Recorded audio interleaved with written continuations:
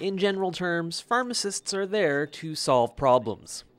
While that typically means helping people get better, for these pharmacy students, it also means improving the health of the profession they are about to enter which looks significantly different than it did in years past. Pharmacy is going away from that product focus of, of, the pills and going toward more of a cognitive clinical focus, where the pharmacist is looking at the whole patient and not just what medication they're taking and telling them about that one medication. It's about looking at all of the factors that go in. For the past four years, third year pharmacy students at the U of S have taken part in a business plan competition.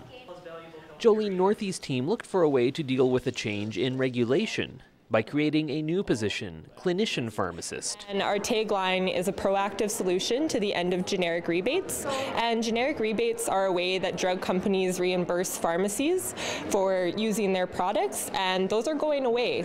And that provides a lot of income to pharmacies, so it's a hot topic in pharmacy right now. Judge and sponsor Chris Fedorowicz says successful projects are the ones that focused not just on pharmacy services, but also on the bottom line. We're looking for sustainability. We're looking for, I mean, economically viable business plans. So, uh, you know, uh, service is one thing, but can we also uh, demonstrate a return on investment by providing that service? So it, it has to it has to fit a business model as well. The competition actually began in September as the students formed 15 teams and designed their projects.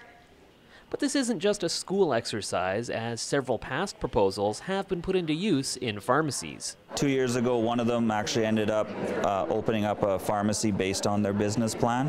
Um, some have got funding from the provincial government for a new position within uh, clinical practice.